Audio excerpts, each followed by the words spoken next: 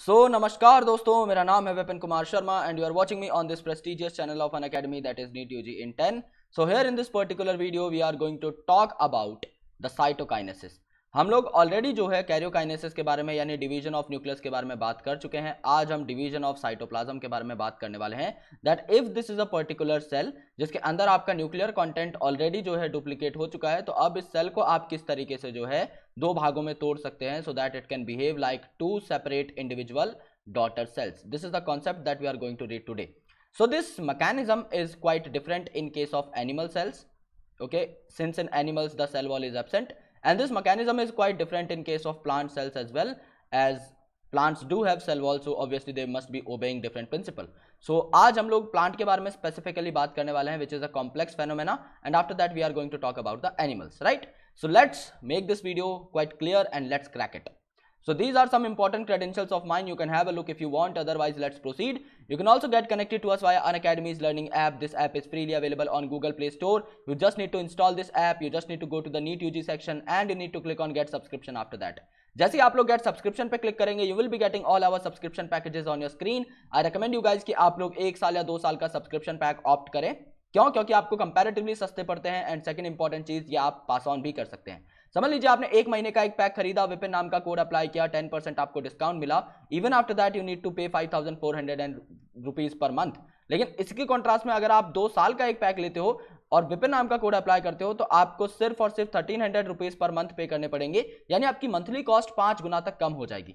इसके साथ ही additional benefits के लिए you can use the code Vipin you can take the subscription of one and two year specifically and आपको screenshot मेरे social media handles पर भेजना है, जो कि मैं आपको लास्ट स्लाइड्स में दिखा दूँगा। इससे आपको मिलेगा क्या? इससे आपको मेरा एक साल का मेंटोरशिप प्रोग्राम मिल जाएगा। आपको सारी असेंशियल ई बुक्स मिल जाएँगी फॉर योर प्रिपरेशन आपको मेरे सारे पीडीएफ नोट्स मिल जाएँगे which are really going to help you out for your preparation इसके अलावा आपको मेरी सारी पीपीटीज मिल जाएँगी, जो मैं आपको पढ़ाने के लिए तैयार करता हूँ, और काफ़ी सारी डीपीपीज एंड क्वेश्चन बैंक भी आप लोगों को मिल जाएँगे। तो आपकी प्रिपरेशन बहुत अच्छी हो जाएगी, अगर आप विपिन कोड का यूज़ करेंगे। एंड अगर आप अपने दोस्तों के बीच में भी ये कोड शेयर करेंगे राइट चलिए कैरियोकाइनेसिस हो चुकी थी साइटोकाइनेसिस की थोड़ी बातें कर लेते हैं। तो mitosis accomplish not only the segregation of duplicated chromosome into daughter nuclei but the cell itself is divided into two daughter cells by separation of cytoplasm called as cytokinesis at the end of the division gets completed कहने का यह मतलब है कि आपने जब cell division start किया था, उस टाइम पर आपने देखा था कि आपका इंटरफेस के अंदर जो एस फ़ेज़ था, उसमें आपका डीएनए जो है डुप्लीकेट हो गया था डीएनए आपका रेप्लीकेट हो गया था। यानी आपने डीएनए की क्या बनाई? दो कॉपीज बना ली। जितना भी डीएनए था, उसको दो कॉपीज में आपने यू नो तैयार करके रख लिया। और कोई पूछे क्यों? तो इसका रीजन बहुत ही सिंपल है। देखो यार, हमने दो कॉपीज इसलिए बनाई क्योंकि जो हमारे दो डॉटर सेल्स बनाने हैं, उसमें हमको एक एक कॉपी इसकी डालनी पड़ेगी।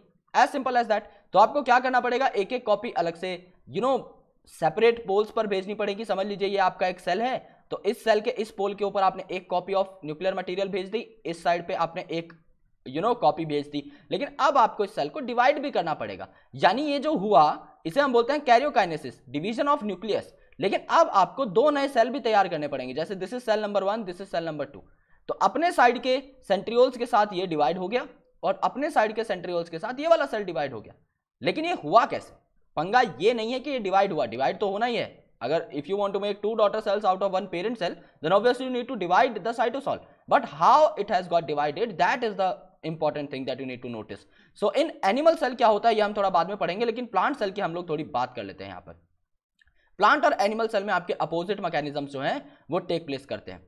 सो so, यहाँ पर क्या है अगर आप प्लांट की बात करोगे तो प्लांट में है आपकी inextensible cell wall cell wall आपकी रिजिड होती है, आप जब भी सेल वॉल की बात करते हो, आप रिजिडिटी नाम का एक वर्ड उसके आगे लगाते हो that plants do have rigid cell wall so therefore इनमें जो साइटोकाइनेसिस है, ये नॉर्मल मैकेनिज्म से नहीं हो सकती। एनिमल्स में क्या होता है, अगर आपका ये सेल है, समझ लीजिए आपने एक सेल बनाया तो इस सेल में क्या होता है फरो बनने लग जाती है राइट इस तरीके से आपकी डिप्रेशन आने लग जाती है। और ये डिप्रेशन आपकी टाइम के साथ गहरी होती चली जाती हैं डीप होती चली जाती हैं, और एक पर्टिकुलर पॉइंट पर जाकर मिल जाती हैं तो आपको दो अलग अलग सेल्स देखने को मिल जाएँगे। That is something that occurs in case of animal cell क्योंकि उनमें सेल वॉल नहीं होती तो you uh, know you know, आपका प्लाज्मा मेम्ब्रेन का इस तरीके से फ्लेक्सिबल होना लाजमी है और हो भी जाता है। लेकिन यहाँ पर क्या होगा? इन प्लांट सेल जो वॉल फॉर्मेशन है ये सेंटर पे से स्टार्ट होता है और आउटवर्ड डायरेक्शन में ग्रो करता है यानी ये सेंट्रीफ्यूगल होगा और लेटरल वॉल पर जाकर ये मीट कर जाएगा जिससे दो नए सेल जो है आपको देखने को मिलेंगे। ओके? और नई सेल वॉल जो है वहाँ पर बनना स्टार्ट हो जाएगी जिस वजह से आपकी सेल प्लेट तैयार हो जाएगी।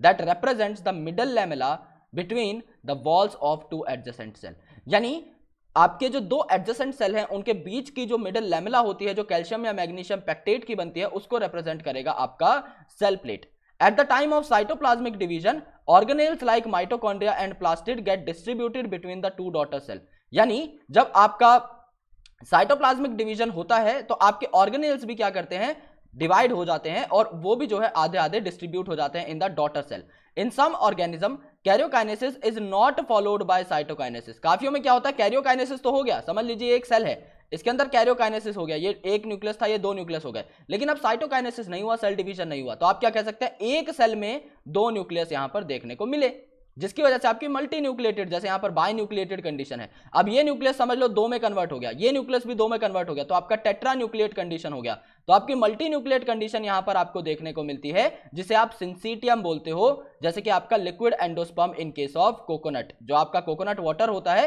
वो लिक्विड एंडोस्पम होता है, जो मल्टी न्यूक्लिएटेड कंडीशन में प्रेजेंट रहता है। अब देखो प्लांट में हुआ क्या, गौर से समझने की कोशिश करो। आपके जो ई e और जीसी गायब होते हैं ओके okay? उनकी जो मेम्ब्रेन्स होती हैं, उनके कुछ वेसाइकुलर फॉर्म्स आकर आपके सेंटर पे अटैच हो जाते हैं। This is a plant cell आपने जो है यू नो न्यूक्लियर कंटेंट आपका ऑलरेडी डिवाइड कर दिया है। इसके अलावा कुछ ऑर्गेनेल है समझ लो क्लोरोप्लास्ट ये क्लोरोप्लास्ट ये माइटोकॉन्ड्रिया ये माइटोकॉन्ड्रिया ये आपका परोक्सीसोम समझ लो, ये परोक्सिसोम तो ये आपने डिवाइड कर दिए हैं। सेंटर पर आकर जो आपके डिसइंटीग्रेटेड ईआर और जीसी थे, उनके पार्ट्स आकर अटैच हो गए। अब क्या हुए? ये इस साइड में ग्रो करने लगा यानी इन्हें इन लेटरल वॉल्स तक पहुँचना है कुछ भी करके, जिससे इस सेल को दो भागों में डिवाइड कर सके। तो इन्होंने खुद के साइज़ को बढ़ाना स्टार्ट कर दिया।